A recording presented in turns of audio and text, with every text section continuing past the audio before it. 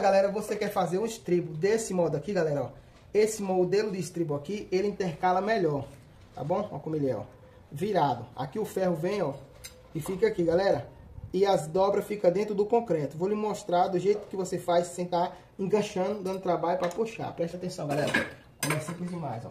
Aqui eu tenho meu ferro, tá bom? Meu pedaço de, de ferro. Agora aqui, galera, eu faço a primeira virada. Essa primeira virada aqui, ó, virei bastante. Essa primeira virada aqui, galera, todo, toda a bancada dá para fazer. Só que se eu colocar aqui por trás, quando eu virar, vai apertar. Na hora de tirar vai dar trabalho. Então você tem que fazer a metragem pegando aqui por dentro, galera, ó. Você cola aqui por dentro, tá bom? Segura e faz esta dobra aqui, ó. Olha só. Tá bom?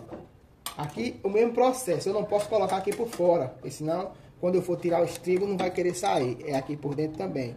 Tá bom? Coloquei, fiz a outra dobra. Galera, esse jeito aqui fica bem top demais. Fica top demais o estribo, tá bom? Fica um estribo bem, bem intercalado com a dobra dele dentro do concreto. Olha só. Aqui, ó. Você coloca aqui, lá engancha aqui, ó. Por dentro, ó. Esse processo aqui, galera, ó. Coloquei aqui por dentro. Agora aqui eu vou dar uma puxada. Vai estar dobrando. Levanta aqui um pouquinho esse lado aqui, ó. Intercala aqui por dentro. Agora eu vou tirar ele aqui e mostrar pra vocês se realmente ficou bom.